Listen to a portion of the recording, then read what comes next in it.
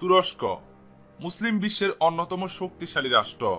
দেশটির ক্ষমতাসীন president Recep Tayyip এরদোগানের নেতৃত্বে ক্রমেই সামরিক শক্তিতে বলিয়ান হচ্ছে তুরস্ক।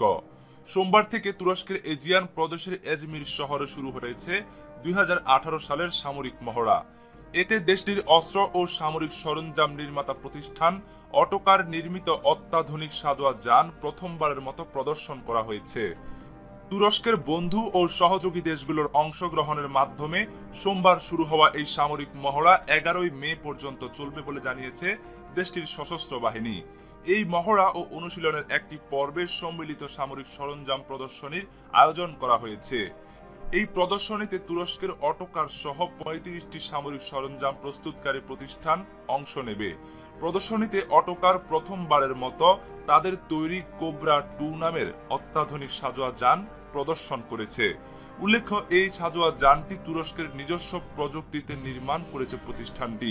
সামরিক ঘাঁটি ও সামরিক অভিযানে থাকা সৈন্যদের কাছে গোলা বারুদ, জ্বালানি, খাদ্য ও পানি নিরাপদে পৌঁছানোর জন্য অত্যাধুনিক এই সাজোয়া যান ব্যবহৃত হবে।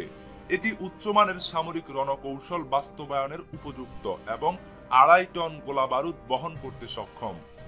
এই সাজোয়া যানটি দিন বা রাত্রিকালীন অভিযান, সমতল ও পার্বত্য ভূখণ্ড প্রতিকূল আবহাওয়ায়ও ব্যবহার উপযোগী। উচ্চ গতিসম্পন্ন এই সামরিক যানটি শহর ও গ্রামে উভয় জায়গাতেই ব্যবহার করা যায়।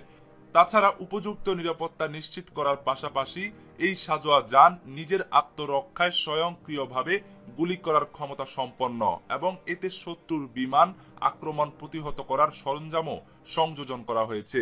এটি ঘন্টায় একশো দশ কিলোমিটার বেগে চলতে পারে এবং এর পাল্লা সাতশো কিলোমিটার। এটি দিয়ে একশো বিশ মিলিমিটারের মর্টারের পাশাপাশি পাঁচ দশমিক পাঁচ ছয় ও সাত দশমিক ছয় দুই মিলিমিটারের কামানও চালানো যায়।